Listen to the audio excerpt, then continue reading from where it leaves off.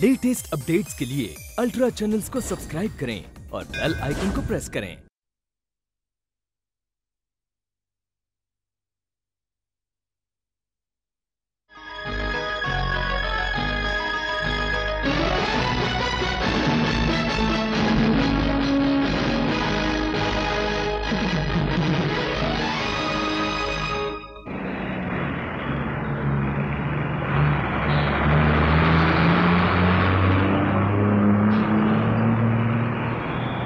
बाबा यहाँ टूटा हुआ है। माफ़ करो माफ़ करो।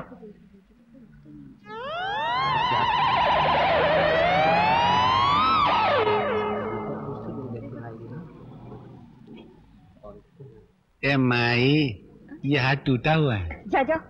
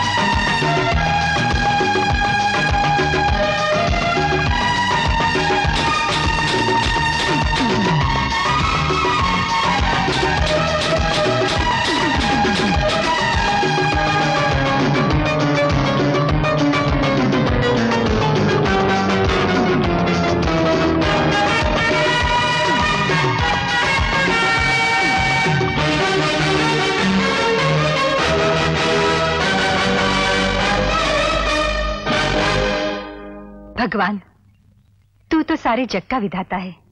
परसों राखी का त्योहार है। हर साल की तरह इस साल भी। ये राखी मेरे भैया तक पहुँचा देना। मम्मी ये राखी क्या होती है? हम बताते हैं बेटा। रोजी। डिसोजा भाई साहब। ये राखी देखने में सिर्फ़ एक धागा है लेकिन रिश्तों की दीवार में लोहे की जंजीर से ज़्यादा मज़बूत है। अब देखो परसों हम यहाँ आएगा और हमारा गायत्री सिस्टर हमारे हाथ पर राखी बांधेगा हाँ? लेकिन सिस्टर ये राखी तुम कहाँ भेज रहा है? बम्बई अपने भाई रमन को। नहीं मैंने हज़ार बार मना किया फिर भी तुम अपने भाई को राखी भेज रही हो। क्या करूँ? मेरा एक ही तो भाई है। मगर कैसा भाई? चोर उचक्का धोखेबाज? ये एक शरीफ कस्टम ऑफिसर का घर है। मैं नहीं चाहता कि उसकी परछाई भी इस घर पर पड़े। मत भेजो उसे राखी। मुझे अपनी राखी पर पूरा विश्वास है। देख लेना एक दिन मेरी ही राखी का धागा मेरे बिगड़े हुए उस भाई को सीधे रास्ते पर ले आएगा।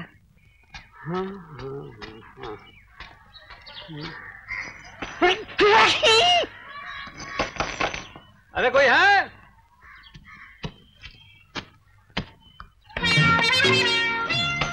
लानत है। न पेट में दाना है न लोटे में पानी है न बंडल में बीड़ी है न माचिस में तीली है। अरे ये कौन घूसे मार मार के दरवाज़ा तोड़ रहा भाई ये? अरे वो दरवाज़ा मज़बूत नहीं है शमशान की जली हुई लकड़ी का है। बेटा प्रसाद ए बेटा प्रसाद। क्या है बापू? बेटा वो दरवाज़ा खोल ना। तुम ही खोल दो ना। अरे मैंने बीड़ी नहीं पिया मैं कैसे खोल सकता हूँ? मेरे चक्कर आ रही है। मैंने भी तीन दिन से खाना नहीं खाया। इतना कमज़ोर हो गया कि मेरी परछाई को भी चक्कर आ रही है। साला मेरे डायलॉग मेरे को सुना रहा है। बेटा बाप पर ही जाएगा ना। बेटा बाप पे जाएगा तो बाप किधर जाएगा? दरवाज़ा खोलने। बहन जी रामन जी हैं? अबे बहन जी होगा तेरा बाप। ये बहन जी नहीं है भाई जी है।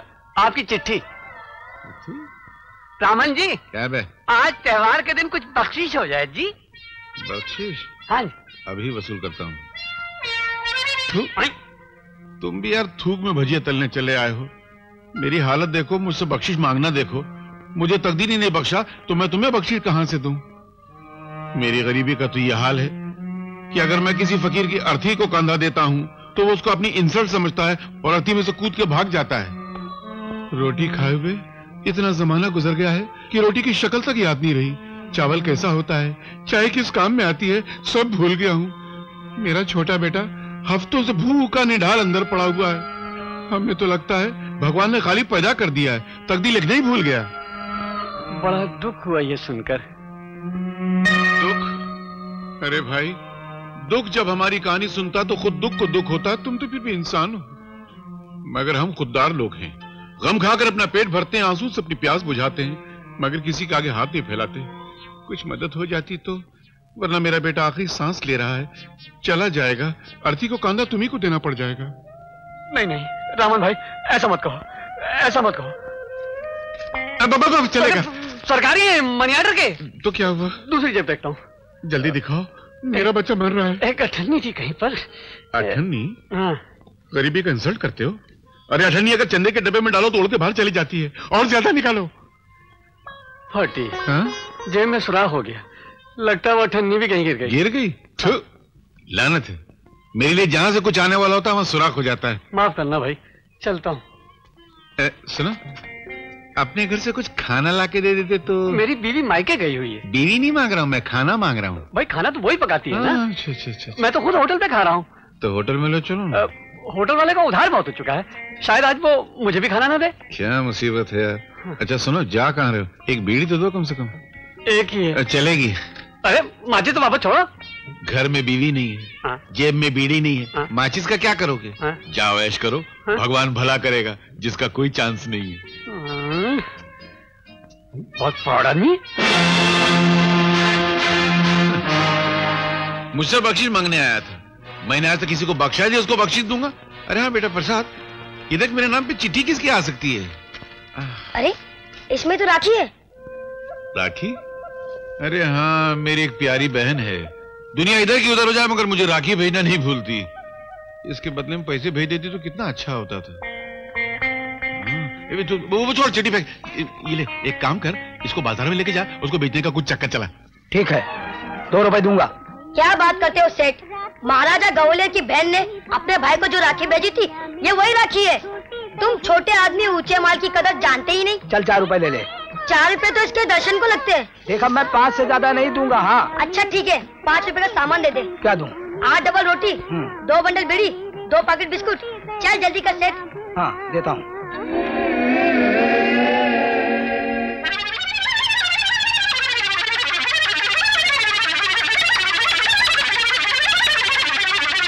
आहिस्ता बापू आहिस्ता आहिस्ता। मैंने अभी तक हाथ भी नहीं लगाया और तुम पूरा हड़प कर रहे हो। नज़र मत लगा यार। जब से पैदा हूँ ज़िंदगी पहली मरतबा आज इतना पेट भर के खाना खाया है। अरे वाह रे बहन वाह। भगवान तेरे को खुश रखे। क्या राखी भेजी थी। खा के पेट भर गया। ए तू ये क्या खा रहा हाँ, है कुछ नहीं कुछ नहीं। हाँ, चॉकलेट। मेरी जेब से मारा है क्या? है? तुम्हारी जेब से? तुम्हारी जेब में कपड़ा नहीं चॉकलेट कहाँ से आ जाएगी? तो फिर ये कहाँ से आया? वो तो दुकान वाला जब सामान बाँध रहा था, तब मैंने उड़ा दिया। अरे जियो, मेरे लाल, तू मेरा नाम ज़रूर रोशन करेगा। चल, इसी बात पे आज मैं तेरे को पाकिट मारने के तरीके सिखाता हूँ। पाकिट मारना जो है, वो बहुत ध्यान का काम है। अपना ध्यान लगा के रखना और दूसरे का ध्यान हटा के रखना। है? तो ये समझ, ये नोटों से भरा हुआ पाकिट है, ये मैं जेब में रखता हूँ, तू आके मेरे से टकराना और मस्के की तरह उड़ा लेना। ठीक है? ये मैंने जेब में रखा। चला जा। अबे घन चक्कर इधर वापस आ इधर आ। मार खा गया ना?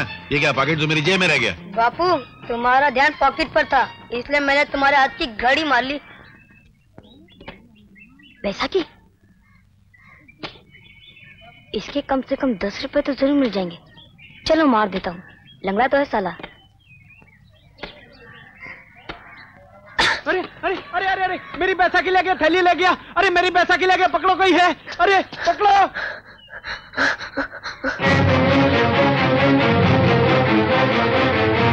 मास्टर जी। वाह शाबाश बेटे।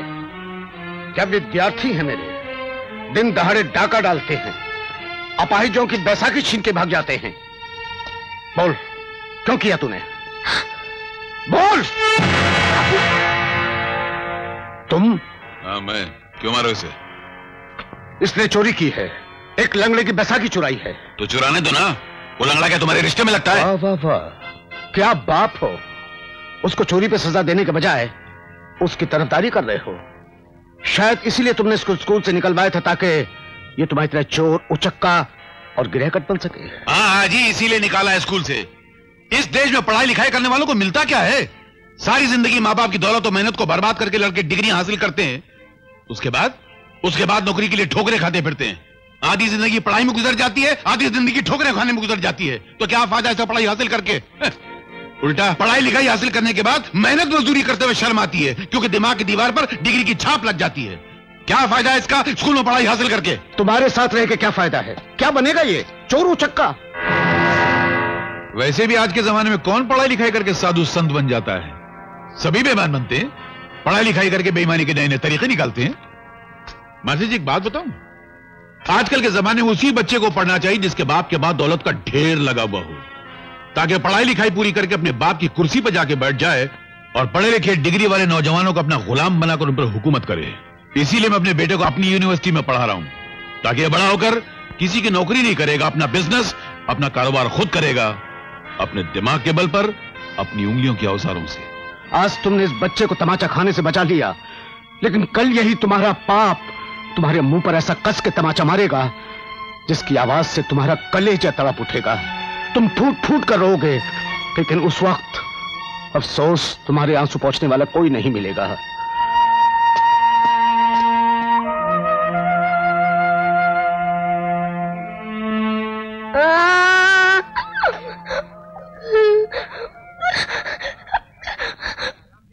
इंस्पेक्टर साहब। क्या? मैं इसको आपके हवाले करने आया हूँ। मेरे हवाले? क्यों? क्या ये तुम्हारा बेटा है? नहीं नहीं मेरा बेटा नहीं ये बेचारा तो एक बस स्टॉप पे खड़ा फूट फूट के रो रहा था। लगता है इसके माँ बाप नहीं अनाथ है। इसलिए मैंने सोचा आपके पास ले आऊँ आप इसे रख लीजिए। मेरा परिवार खुद बहुत बड़ा है भाई। तो एक काम करो फिर इसको हवालात में रख लो। हवालात में कैसे रख लूँ? ना इसने कोई जुर्म किया है ना कोई गुना तो मैं क्या करूँ? मैं कहाँ ले जाके रखूँगा इसको? अरे तो ले जाओ किसी अनाथ आश्रम में भर्ती करा दो। ये अनाथ आश्रम सब नाम के होते हैं। असल में ये मुसीबत आश्रम होते हैं। अनाथ आश्रम में जो बेचारे बच्चे पलते हैं वो भूख प्यास गरीबी जुल्म मार सहते सहते बड़े होते हैं और जब बाहर निकलते हैं तो आदि मुजरिम बन चुके होते हैं। साहब मैं तो कहता हूँ रुपये में बारह आना जो मुजरिम है वो सब अनाथ आश्रम की पैदावार है। तुम बिल्कुल ठीक कह रहे हो भैया। इस बात की ज़िंदा मिसाल मैं हूँ। मैं अनाथ आश्रम में पला बड़ा हुआ और बाहर निकलकर आदि मुजरिम बन गया। बताओ। मेरी दर्दनाक कहानी सुनकर तुम्हारा कलेजा हिल उठेगा। एक मर्तबा की बात है। मैं अपनी कहानी सुना रहा हूँ तो अपनी कहानी बीच में घुसड़ रहा है। इंस्पेक्टर साहब आप अपनी इस वर्दी को हटाकर अपने खूबसूरत से दिल से सवाल कीजिए कि ये मासूम ये छोटा फूल सा मासूम अनाथ आश्रम में पढ़ने के लायक है? क्या हम लोगों ने हिंदुस्तान की आज़ादी में खून इसलिए बहाया था कि भारत के भविष्य का बोझ उठाने वाले छोटे से मासूम कांधे अनाथ आश्रम में पलकर बड़े होंगे? एक काम करो। जी। तुम खुद इस बच्चे की परवरिश करो। मैं? हाँ। मैं तुम्हें पैसे दे दिया करूँगा। बोलो मंजूर है। देश के भविष्य के लिए मैं कुछ भी कर सकता हूँ। लाई लो। अभी सिर्फ़ इतने रख लो। अगले महीने से हर महीने मुझसे तुम सौ रुपए ले जाया करना। हर पहली को पहुँच जाऊँगा लेकिन इस बच्चे की परवरिश में किसी तरह की कोई कमी ना आने पाए। मैं अपनी ज़िंदगी में कमी आने दूँगा मगर इसकी परवरिश में कोई कमी नहीं आने दूँगा। मैं इसे नेक और शरीफ इंसान बनाऊँगा। आज से यही मेरा कर्तव्य है। जाओ। चलो बेटा। भगवान तुम्हें सफल करे।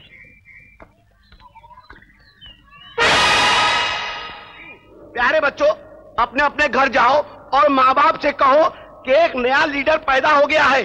उसने अपनी एक नई पार्टी बनाई है और उसने अपनी पार्टी का एक झंडा बनाया है और वो झंडा ये डंडे में लटक रहा है और ये झंडा लहरा कर अपनी नई पार्टी का ऐलान करेंगे। अरे ये झंडा कहाँ गया? झंडा यह है बापू। अबे तू झंडा मार के लिया है तो क्या करता बापू? वो फांदेबाज नेता पब्लिक को झूठ बोल बोल कर अपनी बड़ाई मारा था। कि मैं ये कर दूँगा वो कर दूँगा? साला करता तो कुछ तो, तो है नहीं इसलिए मैंने झंडा मार दिया। अबे मगर झंडे का क्या करेगा? अपने दोनों का पैजामा बन जाएगा। वैसे आपका पैजामा कितना सड़ा हुआ है।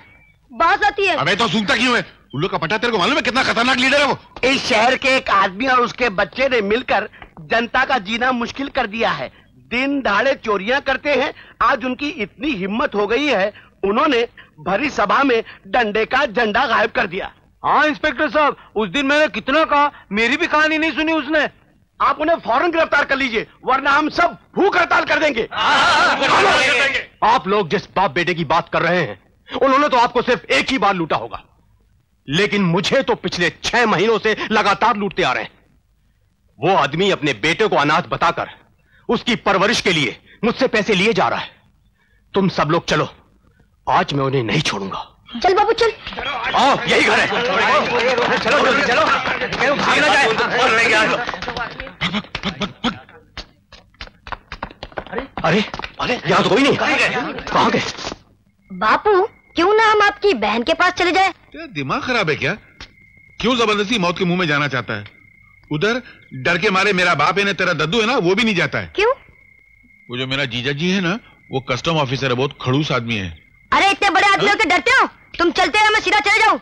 अरे तू कैसा चला जाएगा? तो मैं यहाँ क्या बैठ के भीख मांगूँगा क्या? आइडिया अच्छा है लगते भी खानदानी भिखारी। क्या बोला? ये मुँह संभाल के बात कर तुम बहुत मारूँगा। नहीं तो मैं चले जाऊँगा। अरे तू ऐसे कैसे चला जाएगा? क्या तेरे बाप का ऐसा मैं मुँह संभाल के बात कर बहुत मारूँगा। मैं चले जाऊँगा। अरे अबे अबे, चुप। क्या मुसीबत है यार? एक औलाद भी नहीं साली वो भी बाप के समान है। चलता हूँ चल। हे भगवान मेरे को मेरे जीजा जी प्रताप सिंह के गुस्से से बचाना। प्रताप सिंह। प्रताप सिंह। प्रताप सिंह। तंग आ गया हूँ। मैं इस कस्टम ऑफिसर का नाम सुनते सुनते इतनी मेहनत करके मैं माल लाता हूँ और आराम से पकड़ लेता है। न जाने उसे कैसे पता चल जाता हमारे बारे में और ठीक डिलीवरी के टाइम पर ही धार मार देता है। इसीलिए आज का माल भी नहीं ला सके। सारा का सारा माल समंदर में फेंक देना पड़ा। तुम सब के सब निकम्मे हो। बुजदिल हो तुम लोग। अब देखना ये कुल्लू महाराज क्या करता है। कल का दिन प्रताप सिंह की ज़िंदगी का आखिरी दिन होगा। डैडी डैडी चलो ना घर मेरे को भूख लगी है। रोजी बेटा तू घर चल मैं अभी आता हूँ। शंकर तुझे घर ले जा। जी साहब हाय डिसूजा। क्या हाल है? कैसा चल रहा है धंधा? मैं तो ठीक हूँ यार लेकिन तुम इतने दिन किधर था? काम में बिज़ी था यार तुम तो जानते हो। आजकल गुल्लू का यहाँ बड़ा ज़ोर चल रहा है डिसूजा। ओ अरे वो तो ठीक है मगर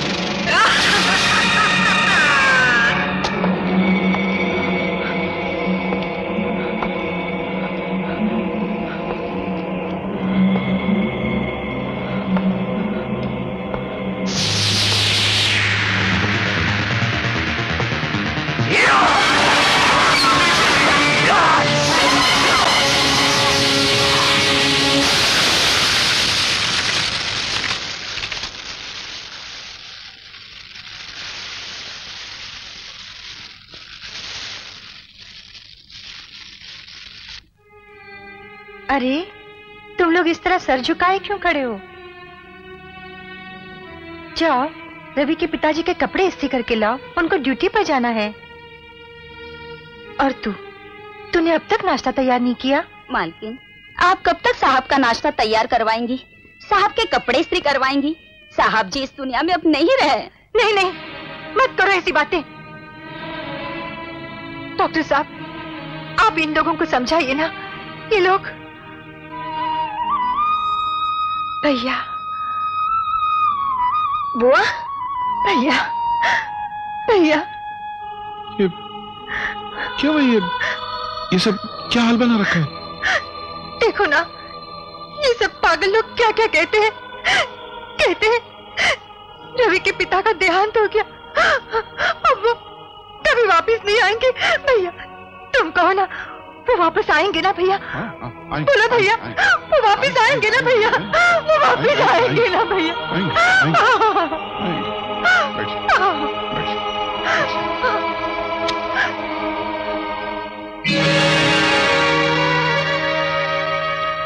डॉक्टर साहब ये बात क्या है?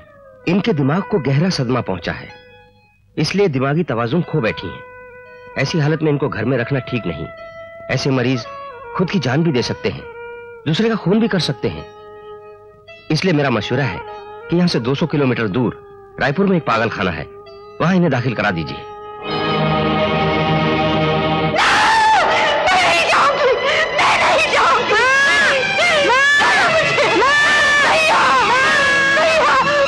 ले चलो भैया मामा मामा मुझे मेरी माँ के पास ले चलो मामा। देख बेटा। तेरी माँ की तबीयत बहुत खराब है। जैसी तबीयत ठीक हो जाएगी ना, मैं खुद उसको लेकर आ जाऊँगा। अच्छा बेटा? चल, आ जाओ चल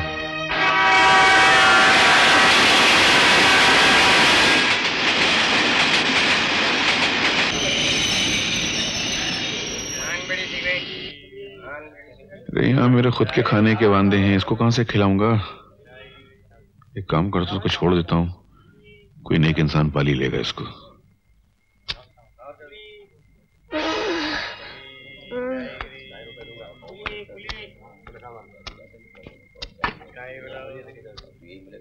रिक्शा मिलेंगे आया साहब।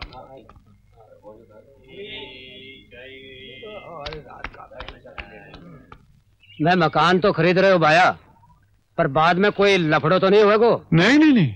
कोई लफड़ो नहीं होगा। क्या है कि ये जो मकान है ना ये मेरी बहन का था। वो बेचारी पागल हो गई है।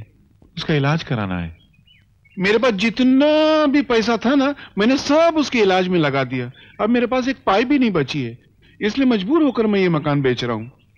काश मैं अपनी बहन के इलाज के लिए अपने आप को बेच सकता।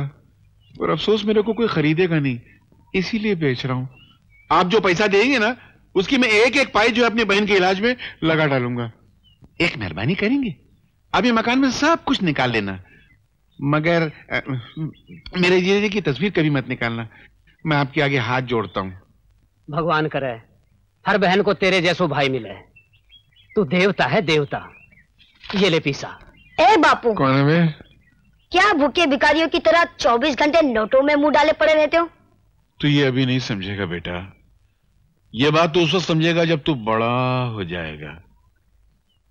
एक बात बता। अबे तू बड़ा क्यों नहीं होता है? आए तेरी ज़िंदगी की गाड़ी में ब्रेक लगा हुआ है। सबके बेटे बाप से ऊँचे हो गए मेरा बेटा अभी तक ठीक ना का ठीक नहीं है। बड़ा क्यों नहीं होता तू? बापू मैं बड़ा हो जाऊँ? आओ ना। तो लो बापू। मैं बड़ा हो गया। अबे ठहर ठहर क्या करता है? इतनी जल्दी?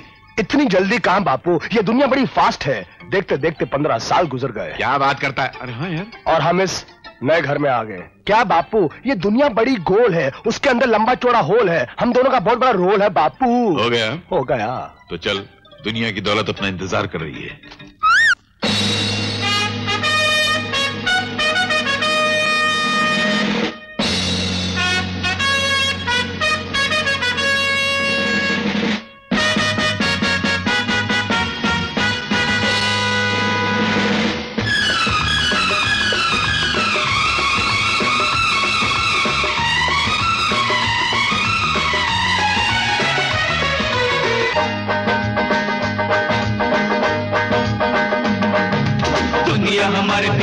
आगे आगे। सबकी निगाहों को धोखा देके भागे। कौन है यहाँ जो मेरे सामने आए? किसमें है दम जो मुझसे टकराए? कि मैं हूँ बेटा, ये है बाप। ध्यान लगा कर सुनिए आप। कि मैं हूँ बेटा, ये है बाप। ध्यान लगा कर सुनिए आप। बिल्कुल खरी। बाप नंबरी तो बेटा दस नंबरी।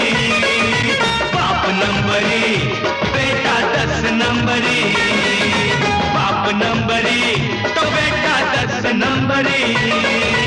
बाप नंबरी, बेटा दस नंबरी।